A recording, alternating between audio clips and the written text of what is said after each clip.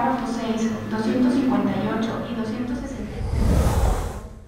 El próximo martes 14 de mayo se tiene programada la llegada a Puerto Vallarta a las 4 de la tarde de la documentación y las boletas electorales para la jornada electoral del 2 de junio, por lo que en sesión ordinaria del Consejo Distrital 05 del INE se aprobó al personal que auxiliará en las actividades de conteo, sellado y agrupamiento de estas, así como la integración de las cajas de los paquetes electorales. Este jueves se llevó a cabo la décima sesión ordinaria del Consejo Distrital del 05 del Estado de Jalisco del Instituto Nacional Electoral INE, en donde se aprobaron algunos acuerdos importantes para el desarrollo del proceso electoral 2023-2024. Entre ellos fue la aprobación de los mecanismos de recolección que ayudarán para que los paquetes electorales de las casillas lleguen a la sede de los consejos correspondientes. Asimismo, se aprobó a las personas que estarán apoyando en las casillas especiales debido a que se manejan equipos de cómputo y estos necesitan capacitación. Asimismo, se aprobó al personal que va a auxiliar en las actividades de conteo, sellado y agrupamientos de las boletas electorales, así como la integración de las cajas de los paquetes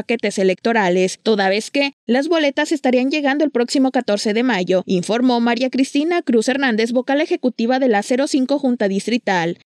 Tenemos la programación hasta ahorita, hasta el momento de que el 14 de mayo nos va a llegar la documentación electoral y va a llegar las boletas electorales. ¿Ya se sabe a qué hora? Eh, tenemos una hora aproximada que va a llegar aproximadamente a las 4 de la tarde. Sin embargo, por cuestiones eh, que pudieran estar fuera de nuestras manos, por ejemplo, eh, alguna cuestión de tránsito o algún retraso en otra entrega,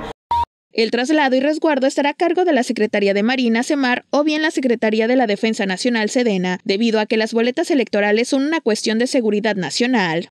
Cuando llegan las boletas, lo que hacemos primero es eso, el conteo sellado y agrupamiento. Vamos a contar que sí llegan todas las eh, que dicen el paquete. Ya después nos van a apoyar también a sellarlas, el personal que ya está aprobado y ya se agrupan, es decir, se dividen por los folios, por el número que corresponde a cada paquete, se mete en cada paquete, los resguardamos en la bodega electoral, se sella y ya posteriormente en la semana previa a la jornada electoral, ahora sí ya se hacen estas entregas a las presidencias de mesa directiva de casilla, ya se abre la bodega y se van a entregando conforme nos dieron el calendario y la programación.